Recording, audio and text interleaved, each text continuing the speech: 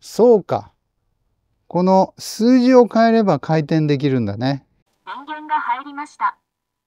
接続の準備ができました。こんにちは、すみやです。今日はシースターのプランモードでね、撮影した画像を確認してみたいと思います。一応ね、プランでこうなってますね。はい。ビューってあるので、これを見るといいのかな。ボーデの銀河と葉巻銀河が入ってますね。これでノイズ除去もできるんだね。えーノイズ除去はね、撮影の終わった後に手動でやるということになるようですね。はい。やっています。あ、早いね。これで終わったの。ノイズ除去前と後でかなり違うのかな？うん。ボーデの銀河、すごく綺麗に撮れてますね。葉巻銀河もまあ、よく撮れてますね。明るくしてみようか。ちょっと明るすぎるな、これ。はい。50%ぐらいでちょっと明るすぎるけど、コントラストを上げれば、あ、コントラストはね、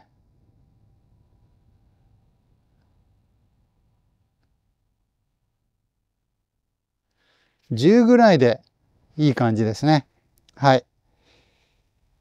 明るさを50まで上げて、コントラストを10にすると、ボーデの銀がすごく綺麗に見えてます。ちょっとね、バジルの部分が白飛びしてますけどね。はい。ちょっと明るさを落としてみようか。明るさを20ぐらいにしてみよう。まあこれでもね、ちょっと白飛びしてるけど、10ぐらいにするか。はい。10ぐらいにするとね、白飛びがあんまり目立たないですね。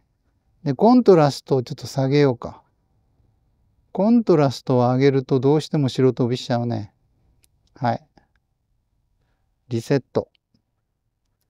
リセット。はい。こんな感じです。あ、角度も変えられるのかな？あ、これでトリミングができるんですね。これで、角を持って違うのか。どうやるんだあ、こうか。ピンチアウトしてトリミングをするということなんでしょうかね。はい。こんな感じでどうでしょうか。もうちょっと。うん。いいね、これ。で、これで保存できるのかな？はい。ダウンロード。なるほど。トリミングができるっていうのがいいですね。はい。S30 はもともとね、かなり広い視野が取れるので、いらない部分を削除すると。回転はできないのかな？回転もできるように書いてるけど。あ、そうか。この数字を変えれば回転できるんだね。はい。なるほど。うん、こっちの方がいいね。はい。こういう風にして回転をして、画像処理をして、ダウンロードするという形で使えるんですね。すごいね。これはなかなか面白い機能ですね。はい。じゃあ次行ってみようか。じゃあ次は M51。ちょっとね、小さいね、やっぱりね。S30 で M51 はちょっと小さい。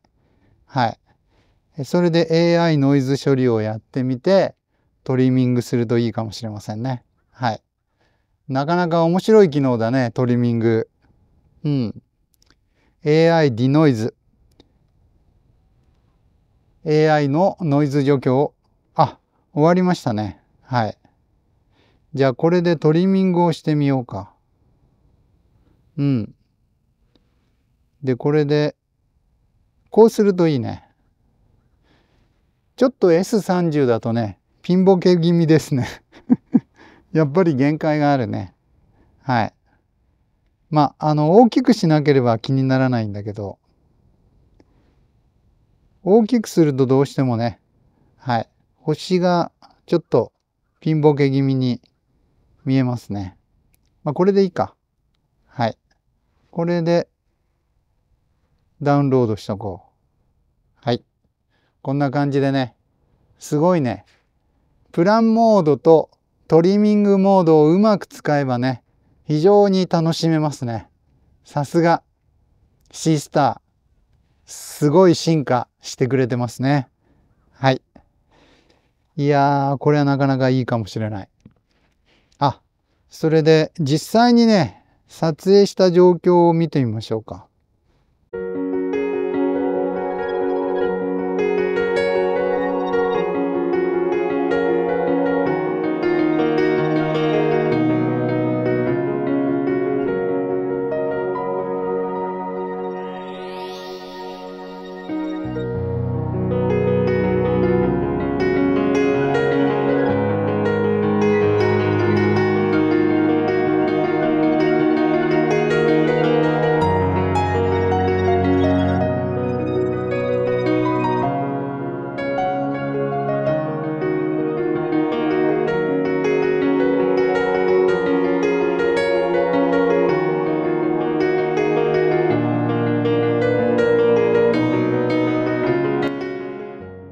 こんな感じでね、昨日は撮影してました。ちょっと字がちっちゃいので大きくしようか。M81 と M51 を昨日の夜は撮影が終わっていました。オブザベーションサクセス成功っていうかで書いてますね。はい、こんな感じです。うん、なかなかいいよね。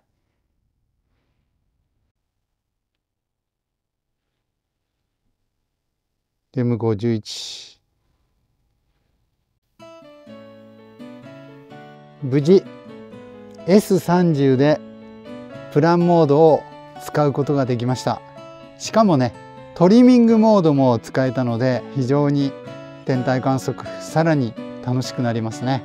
はい皆さんもこのプランモードとトリミングモードをうまく使って天体観測を楽しんでみてはいかがでしょうか。本日の動画は以上です。ご視聴ありがとうございました。さよなら。